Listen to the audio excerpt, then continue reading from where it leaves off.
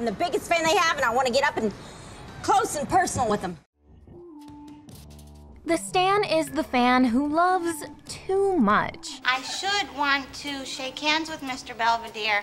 I shouldn't want to grab a lock of his hair. If you are a stan, the noun, or you stan, the verb, you don't just love a particular show, song, or celebrity. That passion is part of your identity. 85% of Ryan's closet is Billie Eilish merch. She runs a fan account tracking Billie's every move. The term, a portmanteau of stalker plus fan, has been around since Eminem's 2000 song about the eponymous superfan who's destroyed by his obsession. Truly yours, your biggest fan, this is Stan. Since then, it's evolved from a diss into a source of empowerment and community that many embrace. But predating the word, we can also find an array of on screen representations who shed light on what it is to be an Uber fan. Here's how you can spot a stan on screen. They worship a celebrity to an extent that this becomes their whole sense of self. Your password to your phone is my sister's birthday. It can be hard for any of us to remember that famous people are still people. And you must be Leslie Knope. Welcome. Welcome. You're, my, my, my name just came out of your mouth. But the stands turn their idol into a god and might be disappointed when that idol turns out to be a mere mortal or doesn't reciprocate and appreciate their love. An extreme Stan might take their obsession too far into boundary crossing behavior. Here's a picture of her medicine cabinet. Here's a picture of her sleeping. There are a lot of those. Yet their complex motivations and psychology are rarely explored. Most on screen stands are oversimplified, dismissed as a punchline. But if Beyonce simply answered one of my letters, I stopped trying to break into her house. Or a villain, representing the sin of fan entitlement. I'll take good care of you. I'm your number one fan. The more nuanced reality is that the Stan reflects the lopsidedness of celebrity or influencer culture, which relies on fans to make entertainers wealthy, but doesn't necessarily care about those fans as people. Today, many of us speak of standing something or someone, while Stan Twitter is home to powerful subcultures, even armies, that have mobilized as forces to be reckoned with. Here's our take on how the Stan embodies the complexities of modern fanship, and why it's so tempting to escape into one sided relationships instead of working through the challenges of reciprocity.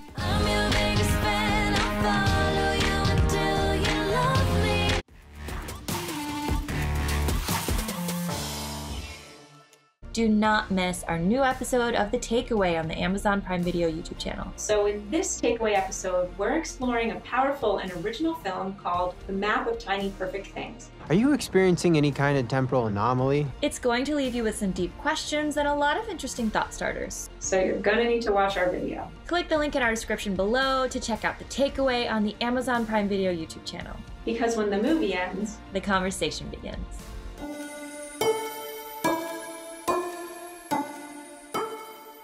The Stan term originates as a character. Stan is the obsessive fanboy in Eminem's 2000 hit song about the dangers of celebrity worship. I even got a tattoo with your name across the chest. Like any superfan, Stan wants to look like, connect to, and be with his idol. I'll be the biggest fan you'll ever lose. Sincerely yours, Stan. P.S. We should be together too. One of Eminem's initial lyrical inspirations, the phrase, your picture on my wall, from the Dido song he samples, Thank You, evoked for him a common trope of crazed fans the celebrity shrine. Hattie's president of the Prince Charles fan club. But what makes Stan so fixated, in other words, what makes him truly a Stan, is the deep emotional attachment he develops, how much he relates to his favorite celebrity. See, I'm just like you in a way. I never knew my father neither. The moral of Eminem's tragic song is that Stan takes his idol's act too seriously and expects too much out of the artist-fan relationship. Dear mister, I'm too good to call and write my fans. One of the central points is that Stan is over-identifying with the artistic persona the rapper has created. As Eminem explains, it's a message to the fans to let them know that everything I say is not meant to be taken literally. After Eminem, it was Nas who turned the name Stan into a general diss in 2001's Ether. You a fan, a phony, a fake, a Yet, it wasn't until around 2008 that stan surfaced as a verb on Urban Dictionary and Twitter. I stan. As a verb, stan has shifted increasingly away from its originally pejorative connotations. To stan is an active choice you can wear like a badge of honor. I stand Ariana Grande because everything that you could possibly want in a pop star, that's what Ariana Grande is. You can also unstan if a problematic fave no longer represents your values. And it's no longer just I stan, but we stan. The Beyhive is what you call the stans. The people who are standing for Beyonce. Whereas Eminem's stan was undone by loneliness, stan culture now offers the benefits of community. The best part of being a fan of One Direction is the friends that you make through them because I feel that like I've made my best friends through going to see them. This isn't totally new. As The Guardian writes, for example, gay male culture has always coalesced around female pop stars like Judy Garland. But via social media, while interactions with the object of one's obsession are still rare, a stan can find an unprecedented level of connection with other like-minded stans. Today, we have stan armies collecting around a single figure or pop culture property, whether that's Arianators, Swifties, Beliebers, The Beyhive, J-Lovers, Army, Idiots, Fandroids, Potterheads, Dunderheads, Twihards, Nolanites, Chalamaniacs, Streepers, or the original Eminem fans, Stans. Artists are truly only as good as their stands, who stream new releases to make sure they top the charts, defend their artist in the face of controversies or beefs, start stan wars with other fandoms, and create a shared language of memes, names, or hashtags around their artist. Which is really the ultimate compliment for a celebrity Yes. when your fans organize and give themselves a name. Arianators. A bit they of a kind of they gave themselves that. At their worst, these fandoms can be intimidating or toxic, but they can also organize around charitable causes or political movements. K-pop stans in the US flooded police surveillance apps and racist hashtags with videos of their favorite groups. At last, the Stan is getting the attention he always craved, for better and worse. As a collective, Stans today have true power to affect change and to get the world to take notice. What do we want? Free Britney!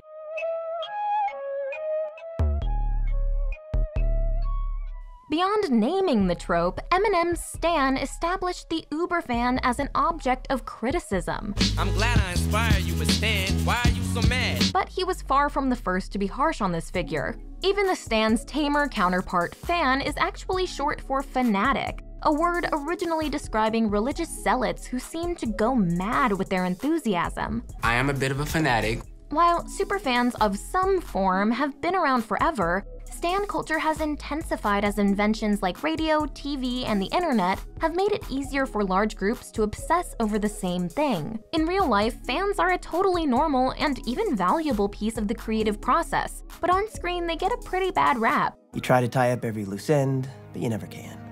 The fans are always gonna They're a raging pain in the ass. Plenty of movies before Stan Twitter or Eminem's commentary deal with the character of the disturbing stalker fan. Not tonight. I gotta get to the station.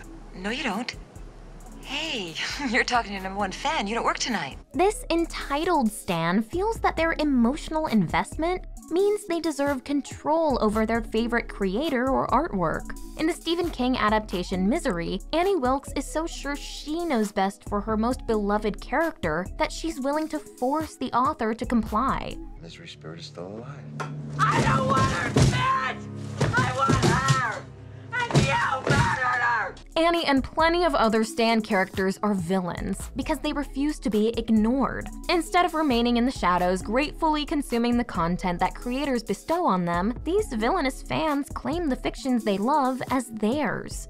Unlike the vast majority of real fans, many of these on screen fans are obviously dealing with mental health issues. TV and movies seem to love making fans look out of touch with reality. Yes, I'm a fan, but I really don't appreciate being mocked. I know the difference between fantasy and reality. Becky, it's all real. I knew it! Or willing to become dangerous to get the attention they feel that they're owed. See? Now you respect me. Because I'm a threat. That's the way it works. But if we look closer, we can see how, in reality, it can be a slippery slope from healthy appreciation into inappropriate obsession.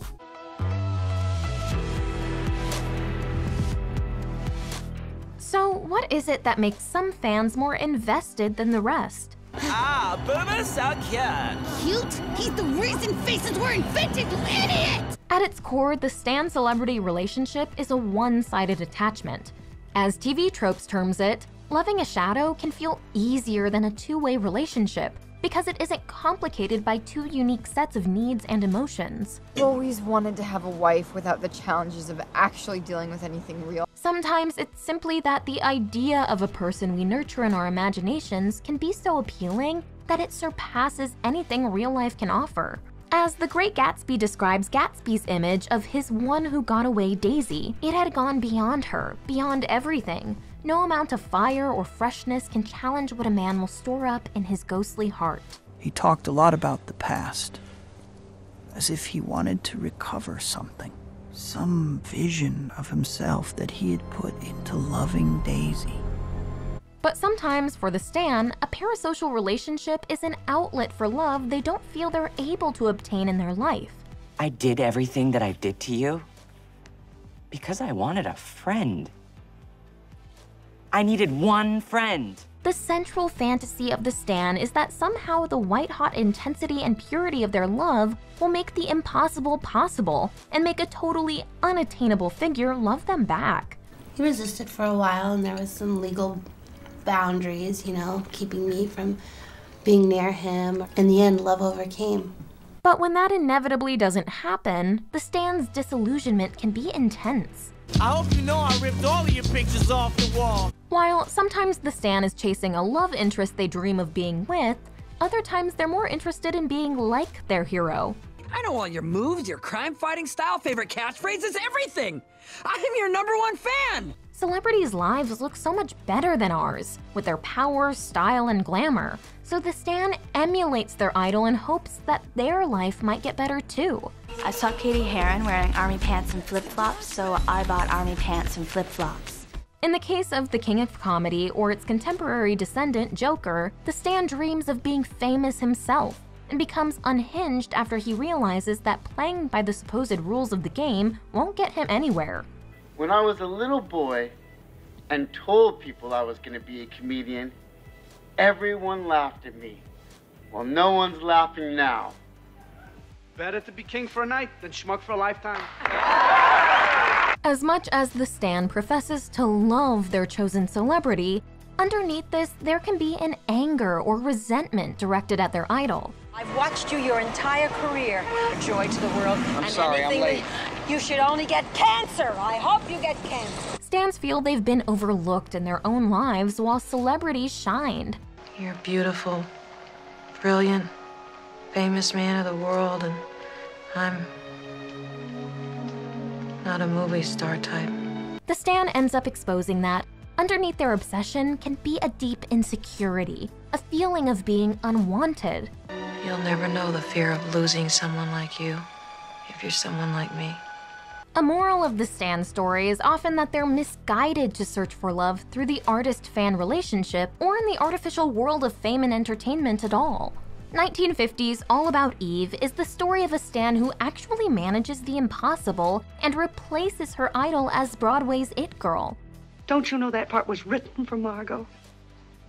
It might have been 15 years ago. It's my part now. But her success is empty. More recently, 2017's Ingrid Goes West applies that same story to today's world of social media influencers. Obsessed with the allure of an Insta worthy life, Ingrid Thorburn stalks her favorite influencer, making it her mission to become the pseudo celebrity's best friend.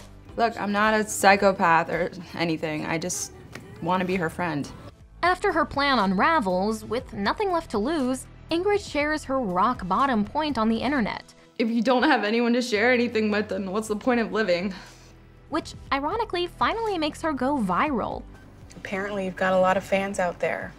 Director Matt Spicer explained, though, that, quote, the fact that she gets what she wants is ultimately a hollow victory. It will never bring her the happiness that a real relationship will with someone who really sees her and cares about her. And maybe I'm just tired of trying to make people like me, and I'm tired of pretending like I'm someone I'm not, and I'm tired of being alone. Ingrid overlooks the most important lesson of her own story. The people we put on pedestals are just that people. You're perfect. Yeah, perfectly. Stanning turns a mortal into a god. After all, the word idol alludes to biblical false idols. But while an omnipresent God is supposed to be able to love every one of his or her children, a celebrity definitely can't make time to pay attention to every one of their fans. The truth is, celebrities might not care as much as the fans want them to, even about their own creations. That show was just a paycheck to me, and nothing more. How could he say that? MacGyver is my world. And if you got to know your heroes in real life, you might not even like them as people. It's just too bad I'll never be able to discuss your poetry with you. Why? Because, Mr. Wolf, you're a drunk. The Stan character can push us to examine how we interact with celebrity culture ourselves. It highlights that giving endless energy to people we don't really know can end up hurting our real relationships. If I get married, he'll always be second to you. Extreme stands do themselves a disservice. They're giving out love where it's pretty unlikely to be returned. Sometimes I'll hear a joke that reminds me of you, and I'll feel sad because I have no way of telling you about it.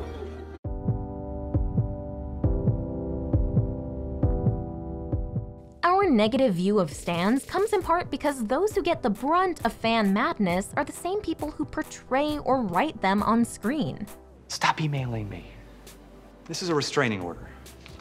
Stop sending me nude photos. Stop calling me. I don't know how you got my number. I don't know how you got my number again after I changed it. Fan stalking, hypercriticism, and general entitlement are aimed at creators, whose bad experiences might leave them with an unfavorable view of fans. Understandably, writers and actors focus on how standing affects them. That leaves less room for trope examples that empathize with fans. While some really strange situations get glossed over for a laugh, P.S. Enclosed, please find 14 of my eyelashes.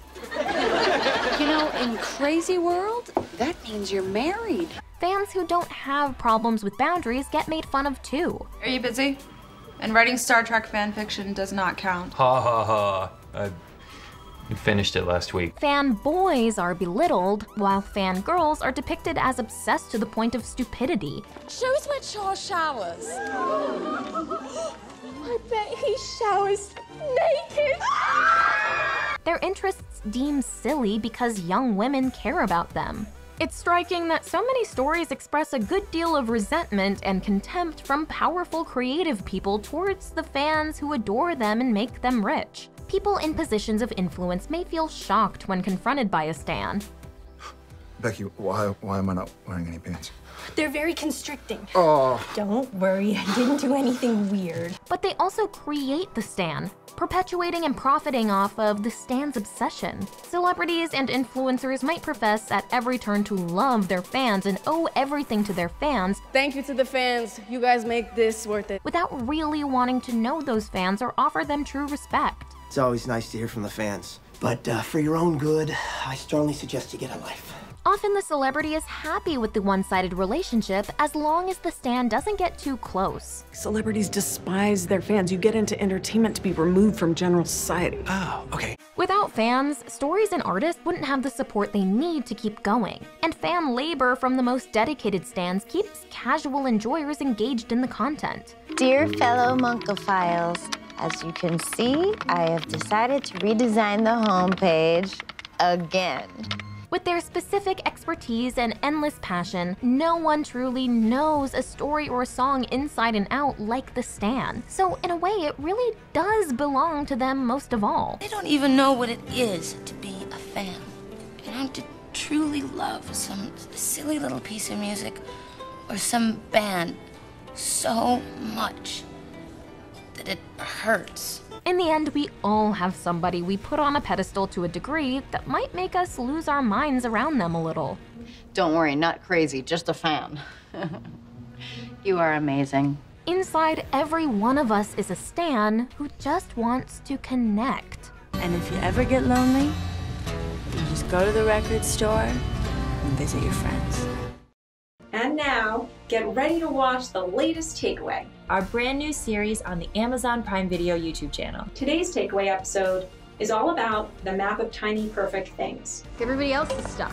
We're free. It's a time loop movie like you've never seen before. Showing what it's like to experience a Groundhog Day like phenomenon when you're young with your whole life still ahead of you. So watch our video to find out everything this film has to say about what time really is and what really matters in life. Click the link on the description below to check out the takeaway on the Amazon Prime Video YouTube channel. We are delving into the endings of your favorite Amazon Prime originals, answering your big questions, searching for the symbols you might have missed, and uncovering the bigger messages you can take away with you. You're really supporting us by liking, commenting, and subscribing, and telling us which Amazon Prime Video shows you want the takeaway on next. The takeaway. Because when the movie ends, the conversation begins.